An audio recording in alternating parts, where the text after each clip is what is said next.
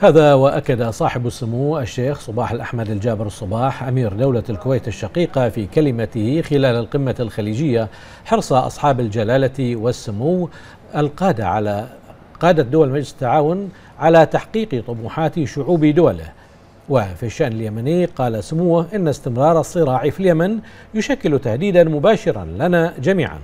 معربا سموه عن الأمل في أن تتواصل المفاوضات في السويد إلى حل الأزمة اليمنية. كما أشاد سموه بجهود التحالف لدعم مفاوضات السلام وفيما يتعلق بالأزمة السورية. أعرب سمو أمير دولة الكويت عن الأمل في الوصول إلى حل سياسي قائم على قرارات الشرعية الدولية مضيفا سموه أن مسيرة السلام تعاني جمودا وتجاهلا من قبل المجتمع الدولي